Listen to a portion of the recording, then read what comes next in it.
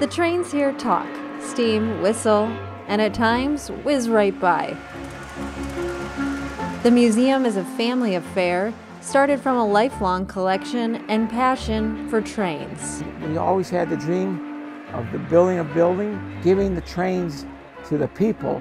I always wanted to make a layout because I was tired of hearing the people say the hobby is dying. It's not dying, it just goes in phases. Getting everything up and running took the Elesh family about 15 years. The layout is 32 by 145 feet, and we're very proud of the size and the way it is because it's the biggest in our area.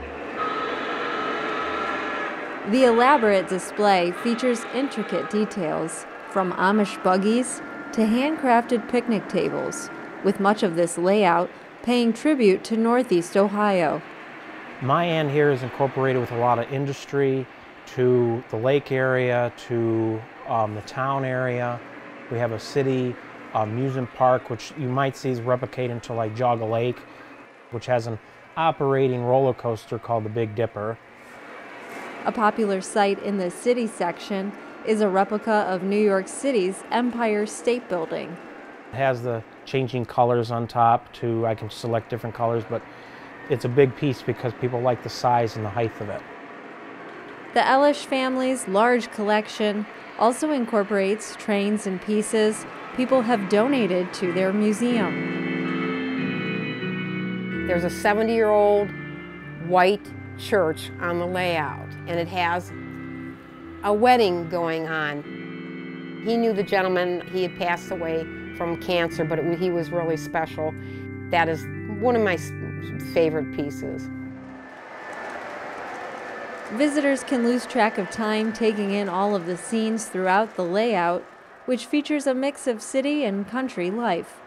As you come into my side, we have the Amish area, more like Geauga County area, more like Cleveland, east side of Cleveland. This is my pride and joy of section that my dad let me have. Basically, I control this whole end for the public to see. We also have the Best Sand Company, which was made in honor of my great-grandfather, which my brother made. And we all took turns on different creativities and we always would, we basically would go travel around and we would get ideas of different buildings, how things would look, the nature. So we kind of would get a good replica of how things would look so it wouldn't look too much and it wouldn't look too little. Ashley Elesh and her brother, Tom Jr., run the trains and control the features on opposite ends of the museum. Two popular pieces on Ashley's side include the drive-in theater and the rocket ship ride.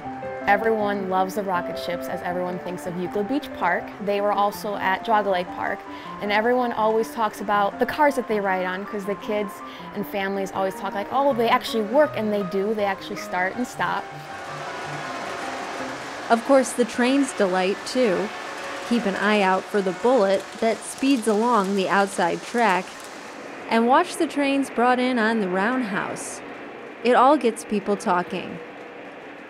I like modern diesels like steam engines and stuff, but you got to have like steam engines. A lot of older people like the steam. Kids and stuff love the railroads like CSX, Norfolk Southern. It's just things like that that the you got to have it for variety for everybody. Can't have one particular railroad. The museum also includes the Trading Post Train Shop, carrying on the name of a longtime Cleveland business where Tom Sr. once worked back in the time in the 70s and 80s, there was a time period when I was there at the store. A lot of people would come in, holiday times, but you never hardly seen the children. They come in with their parents, but mostly it was the parents that came in. So today it's because we have this massive train display, I get the chance to share it with the children of the country in our world. And that's very important to me. The plan is to keep all these trains running well into the future, with the next generation of the Elesh family eventually taking the reins.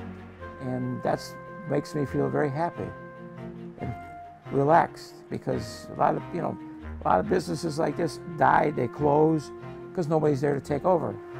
The museum's name, Corner Field, is a nod to another family dream pursued a large ball field that was built for Ashley when she was 10 and sick with meningitis. I asked my dad to build me a big ball field in my front yard, and he's the greatest dad in the world and my role model, and he made that dream come true for me on Christmas.